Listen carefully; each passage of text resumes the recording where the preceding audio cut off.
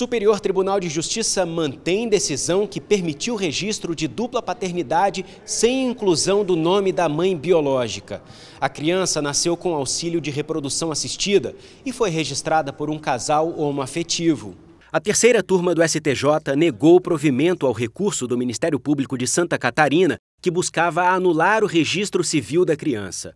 Para o MP, o caso seria de adoção unilateral e não de dupla paternidade. De acordo com o processo, o casal homoafetivo teve uma filha com a ajuda da irmã de um dos companheiros, que foi a genitora. Após ela renunciar ao poder familiar, o casal solicitou o registro em nome do pai socioafetivo e do pai biológico, o doador do material genético. O campo relativo ao nome da mãe ficou em branco. O Ministério Público de Santa Catarina contestou a decisão que permitiu a dupla paternidade, alegando que a competência para o caso não seria da vara da família, e sim da vara de infância e juventude. O Tribunal de Justiça de Santa Catarina julgou procedente o registro e manteve a sentença.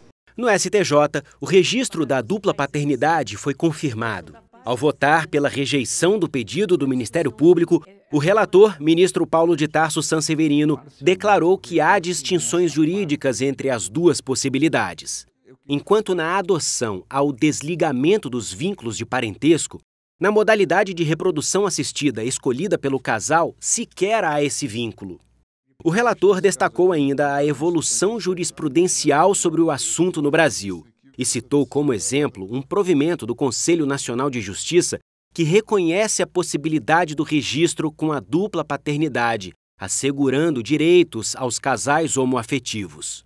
O ministro disse que a questão discutida no recurso já foi pacificada no âmbito da justiça e que, se o caso fosse iniciado hoje, ele seria resolvido extrajudicialmente.